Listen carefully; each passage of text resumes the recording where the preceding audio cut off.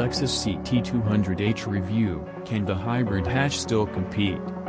Yes, but there's no point holding you in suspense about what the Lexus CT200h is like. For a start, it's 6 years old now. Normally, 7 years is a car's life cycle, so we never revisit a car this close to the shotgun behind the bar moment. But, ready for 2018, Lexus has given the CT200H some TLC. So, we. What's new? It's been restyled with sharper headlights, spot the running lights now at the top, like an angry eyebrow, and more aggressive than motifs set into the bumpers. The range has been slimmed down from the 7 trim variants to 5, and inside there's a much larger infotainment screen, 10.3 in play 7.0 and on everything but the base model. That starts at £23,495 or £299 a month.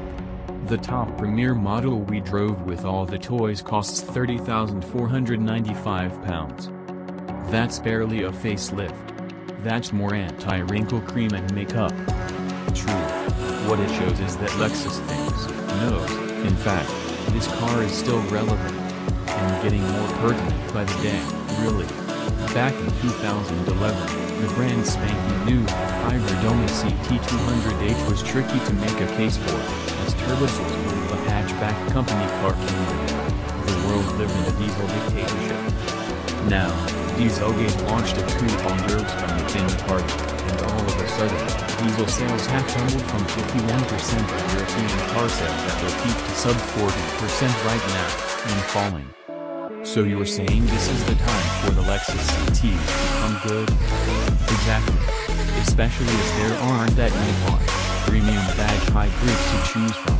There's the Audi A3 e-tron, which we like, and its related twin, the VW Golf GTE, which suffers slightly for its I'm a real hot hatch honest pretensions.